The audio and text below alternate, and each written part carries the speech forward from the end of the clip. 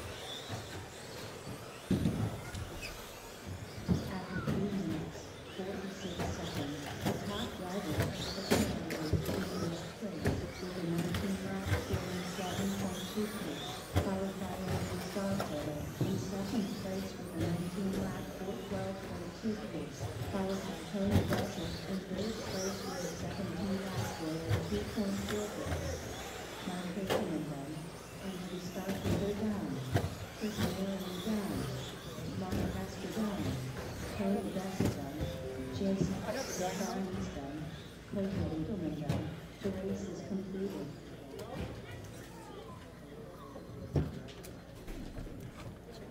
Lily resets TQ by about a half a second.